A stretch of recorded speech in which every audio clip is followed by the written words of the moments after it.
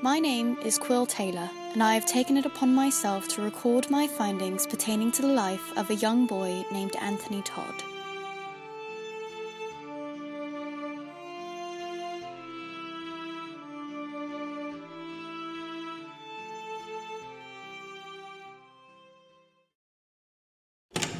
Watch your step. Hmm, the device should be on again. I don't hear or really feel anything in here. Which is a good sign. Erin said it'd take a few days to fix, although it's not nearly enough time. Anthony's birthday is closer than that. Representatives can't do their job well? Surprise, surprise. Either that, or we're missing something. Still, I, I think we should try to be discreet. You don't want to get into something with the townspeople. No, I don't think that's going to be a problem. Oh, It makes our job easier, just don't think about it too hard. What are you talking about? Well, all of the people who live in town are going to leave, just so no one disrupts the process. he definitely didn't count on you being here. None of us did. Or Martin. I have half a mind to tell you both to leave, And the other half? to tell you to get Martin to leave. Ah. Well, as much as we would appreciate the help, he's not in a state to help now. It's honestly more dangerous at this point for him to be here than to be in the outside world with everyone else. But if we fail, he'll he'll be gone without knowing he ever found me. If we fail, everyone will be gone, including you, and nothing is stopping you from returning to him if we succeed. Nothing's stopping. You all are stopping me. I'm most certainly not. Well, maybe not you, but I want. I told Liv. I told Liv we'd read something together. I like coming to the manor and seeing at least Anthony. I enjoy seeing you, but if you want me gone, well, fine then. But I enjoy talking to Charlie and Tim. There are people in this town I want to stay for. Of course, I miss the city, but I don't miss the people I used to have. But, well, to be honest, I only really have much. It's possible that if we fix everything, well, who knows? I mean, could always just stay here, or, or maybe the town will reintegrate with the rest of the world. We don't know that. But it's possible. It's also unlikely. Now, can we please just focus on the task at hand? We can talk about what to do after we win, after we win. Now, come along. We're nearly there. Start looking around, see if you can find anything that might get the clock tower back up and running, and break it. This looks important. Ow! Are you okay? I'm fine. Just keep looking. If you're getting hurt by this, It's just uncomfortable. Keep looking. Sorry. No, it was a good call. Hey, Abby. hmm? I've been wanting to ask. Are you from Wargrove? And why have you been wanting to ask that? It's just, you know, sound like everyone else here. I sound like you. Not exactly. I mean, that's not what I meant. No, I'm not. You're not. From Wargrove. I wasn't born here. Neither was I, or Eziander. We all moved here around the time Anthony was born. Well, I knew that you knew here. Where from? Huh, well, you've probably never heard of it. It's out of the way. Small town. What's it called? Seaside Drive. You're right. I've never heard of it. Sounds like a street.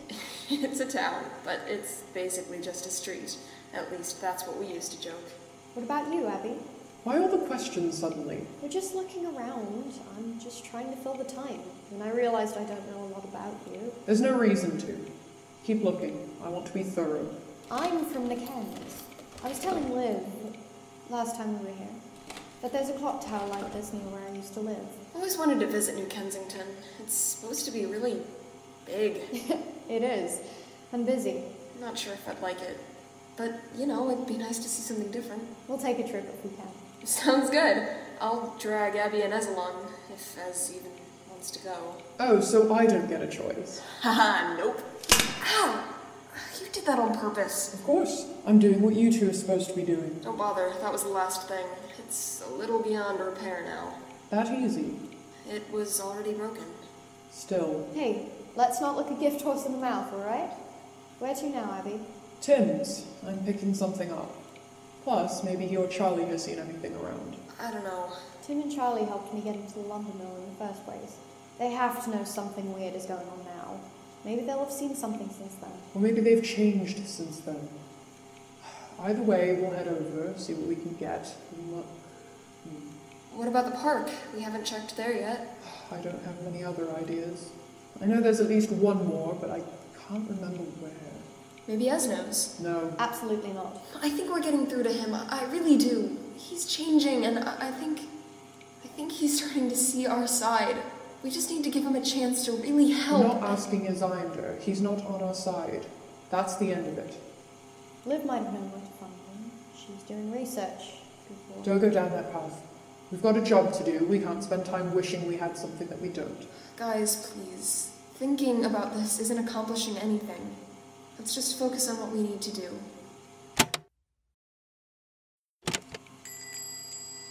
Hey there! Hello, Tim. Ah, the lady of the hour. Hold on, I'll go grab your swords. Wait, really? I figured we might as well. At least two of us know how to use them, and I've no idea how to use any other weapon. Well, I haven't used a real sword in a while. We used to spar plenty. I try not to think about how old you two actually are. Here you go. I haven't made anything like this in a long time, but it was so fun to get back into it. It's a good distraction. Anyways, I hope you can get some good use out of them. Thank you so much, Tim. Why don't you keep the change? Well, I sure won't say no. Are you all going to a costume party or something like that? Something like that. Well, have fun and let me know how they hold up.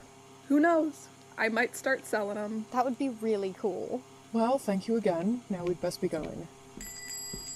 Oh, hello everyone. Seems we've got a crowd today. Hello, Charlie. Oh, Quill, I haven't gotten to tell you, but whatever you did at the library, that was very cool. I'm sorry that. Uh. Well, we're going to miss our resident librarian. I hope your friend is okay. He will be. Thank you. Of course.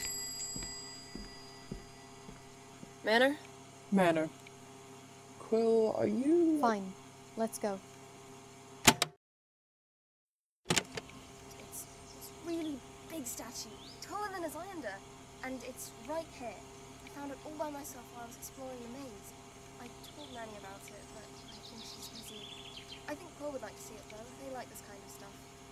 Noddington didn't like it. I told him not to bark at it, but he didn't listen to me.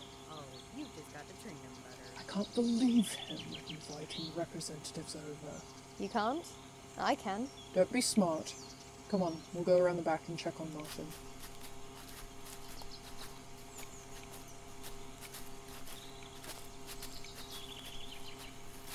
Essa, can I get some assistance? Sure. Oh. Okay, just a tad higher. You're strong. Eh, You'd be surprised how often I've had to lift her up. Anthony often liked to play in the rafters. Essa, Well, he's not there. not there. Cards. Where is he? I don't know. I, I don't know. We need a plan. Well, I can't very well go in there with a sword. I can. I'd advise against that. I have to find Martin. You won't be able to. If the representatives have gotten to him, he's already with Eris. Then I'll go to Eris. Good luck with that. Besides, he'll be here soon. It's nearly time. If we take care of the representatives now, we won't have to deal with them and Eris at the same time. I know, just let me think. I'm going now. Wait, Quill, I'm tired of waiting. lower your voice. And you can't do anything to stop me. Quill, you don't know what that does. Only because you didn't tell me. we still don't know exactly what it does, let alone what it'll do to you. I don't care. I'm doing this now.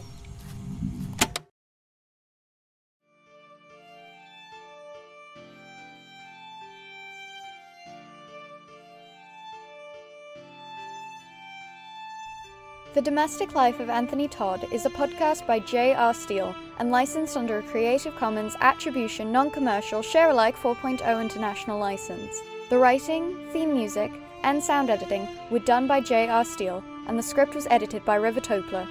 Follow The Domestic Life of Anthony Todd on Twitter at Domestic Life Pod, and find The Domestic Life on Instagram at Domestic Life Podcast. Visit the website, penofsteele.wixsite.com forward slash domestic life to listen, view transcripts, and meet our cast, or join our Discord using the link in the description. Thanks for joining us.